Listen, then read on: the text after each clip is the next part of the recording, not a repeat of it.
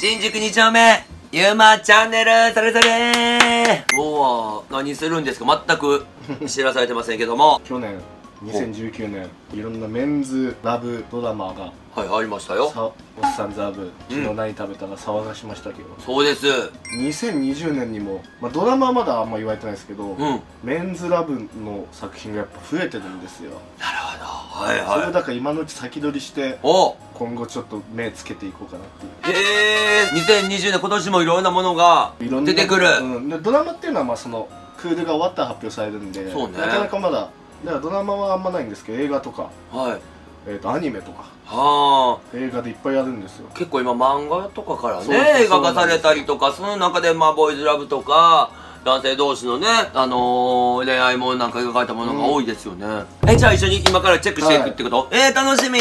あなたももうゲイみたいね。いろいろチェックしてくれてありがとう。もう私と言い過ぎだから。何？何があんの？ちょっと1個目はね衝撃的そうですよ。何？何？何？映画？それは何？媒体何？映画です。映画？はい。2020年2月14日より公開。最近よ。もうちょっと。最近もうちょっとです。な性の劇薬。性の劇薬？性。わかる。性別の性。に。劇薬です。劇薬？また覚醒されちゃう。何？どんなの？何？原作ははい。累計販売数100万ダウンロードを超える大ヒット BL 電子コミックの性の劇薬100万ダウンロードらしいですよ。チェックしてない。は性によって。いうん。これは性別の性うんによって生きる性。はいはい性はい。への意味を見つける本作。えストーリー上でも重要となる性描写をうん。余すとこなく実写化するためうん。R18 指定での制作を決断したへえ R してえな。2020年今まで誰も見たことのない BL 映画がここに産声を上げる。こんな感じなんですよね。えキャスト出てんの？ちょっとねキャストの人はちょっと。あ若手俳優さんだ。ですよね。ほんと起用されてる。そんなにね今からだろうなって。なんで北台北台隆隆さん。さん。渡辺翔さん。ん。長野浩平さん。千葉誠樹さんなど。のえー、ちょっと。ちょっと申し訳ない。ごめんなさい。普通の映画館で公開されるわけ？あでもこれ少なめですね。劇場は。あなるほどなるほど。テアトル系とかでやるんだ。でももしかしたらそういうの入るかもしれないですよね。はいはいはい。えー、楽しみ。東京だと池袋吉祥寺とか。えー、行く行く行く。それは何あのまあ男性同士のねなんかすごいあれだよねタイトルが。ストーリーあらすじ書いてるんで。あ。俺のせいで全てがなくなった完璧な人生から転落したエリートサラリーマンの桂木は絶望の最中酔った勢いで飛び降り自殺を図る。お。捨てるならその命俺によこせ。突然現れた謎の男依田に助けられるのだがうん、うん、それは恐ろしい監禁調教生活の始まりだ。えー、すごそうですよ。それを実写で描くわけ？これは実写で描くらしいですね。どうです？激しい系のは？うん嫌いじゃないです。何何を言わすのよ。今日ワクワクするよね。またイケメン俳優さんたちがどうやって描いてくれるっていうのと、うん。綺麗な描写で全然見れちゃうかなって。え楽しみ。見てみたい。でやっぱ気になるところがさは今の BL ってさ変な話ちょっとエッチなところもすごい綺麗ないうん。ね作家さんの絵でさ、うん。描かれるわけやんか、うん。それがこうやって実写になった時にどこまでね。いやそうっすよね。だってタイトルがもう攻め込んでるからであらすじもその奴隷っていう感なんでしょ？うん。そういったシーンも「おっさんずラブ」とか「今日何食べた?」みたいなんではない、そういう映画館のちょっとこうマイナーないい意味でのよところで見れるっていう足運んだ人だけが味わえるっていうところでの、なんかいい意味でちょっと期待っていうかすごいエッチな部分もやっぱ期待してんちゃうみんな、うん。えー、どんなんなんだろう？楽しみ。では次。はい。まだある。はい。これはちょっとゆうまさんに僕はちょっと前におすすめしましたけど。ほ「キュウソはチーズの夢を」うもう私あなたからお勧めいただいて読ませていただきました、うん。これも実写がありますか？らあの漫画を実写化。はい。でこれはまだ公開が未定なんですかね。あでも2020年っていうのは確か決定してて。うん。で主演が関ジャニ大倉。ええー、めっちゃ好き。めちゃくちゃかっこいいですよね。めっちゃかっこいい。大倉君めっちゃ好きです。あと成田凌さん。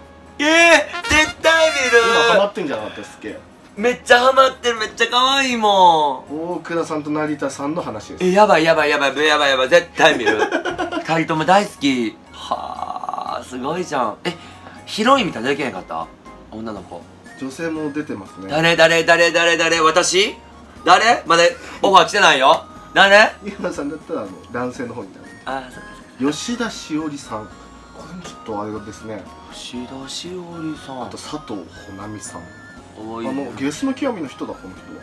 佐藤穂波さん。水の極み。乙女のドラムの人。ええー、あええー、じゃあよかったとしていこう言うてたもんね、はい。どんなあらすじとか出てるんだっけ？あ出てます。どんなやったっけ？広告代理店に勤める。はい。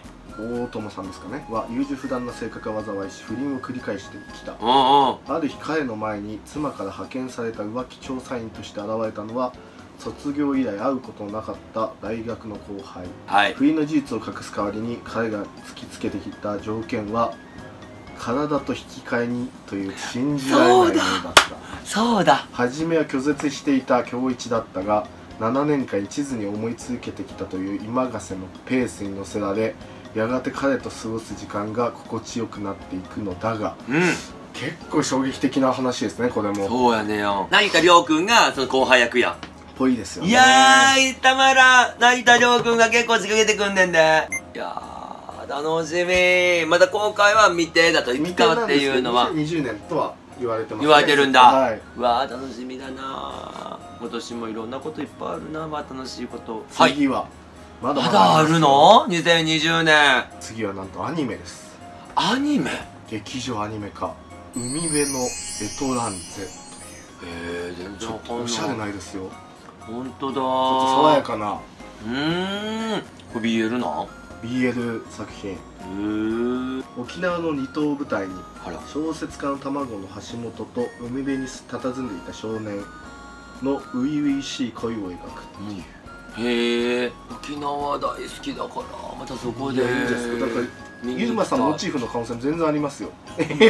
いな お前かいなえ見に行きたい。いやすごい爽やかそうですよなんか、そうだよね、うん、小説家の卵へゲイの橋本とうん。物を上に過ごす高校生、3年前2人は沖縄の離島の海辺で出会いはい。日に日に距離を縮めるがそのミオっていうらしいですね。その高校生男なんですけど、ミオはが島を離れることに。そして3年後島に戻ってきたミオは3年考えた男でも俊が好きうん。うんと迫る、うん。しかし俊はいざミオと恋人同士にとなると一歩踏み出せなくて。へっていうこういう話らしいです。えちょっと思い続けてるわけね。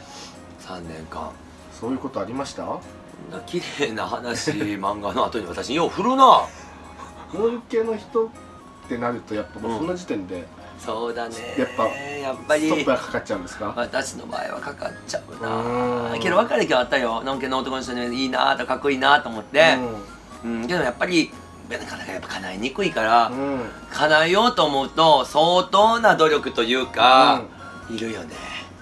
そう難しいと思うわ。だからそういった心の駆け引きとか、なん。どうやって描くのかなって言って逆に勉強になるっていうか、うん。ちょっと参考にしてみたいうん、うん、作品ですよね。だから見てみたいなと思いますね、すごいまだいっぱいやるんですね映画って。BL の？BL の。そんなんあんの？春に公開決定した。これもアニメです。はい。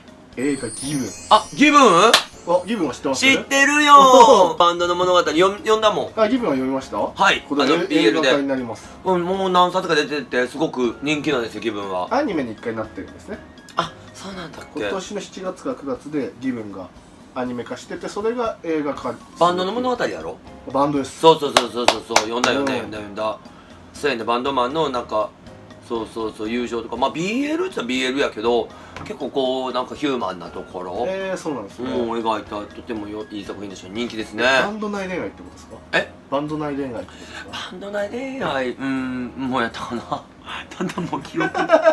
えー、でも知ってんですね。知ってます知ってます。これあの編集のヒットっていうか、うん。出版社の女のはいはいはい。子から勧めていただきました、え面白かった。ー、これ今後すごいんじゃないですか？